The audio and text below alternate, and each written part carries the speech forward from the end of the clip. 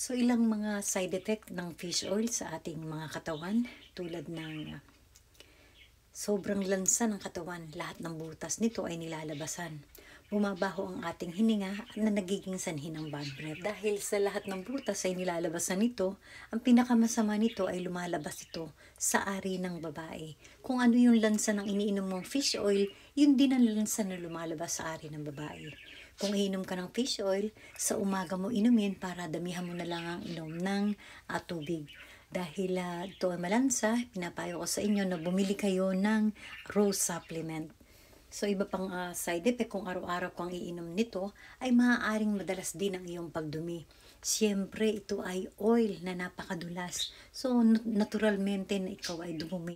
Sa mga kababaihan at uh, kung kayo ay talagang alam nyo na magdudumi kayo, ay maglagay na lang ng napkin. Maaari din tayong magkarashes dito sa sobrang inom. At kung kaya naman kumakati, ay meron tayong worm sa balat na kumakain ng oil. Kung kaya palaging mag-scrub ng asin sa ating balat para hindi manatili ang lansa ng oil. So thank you so much guys for watching and see you to my next vlog. Bye!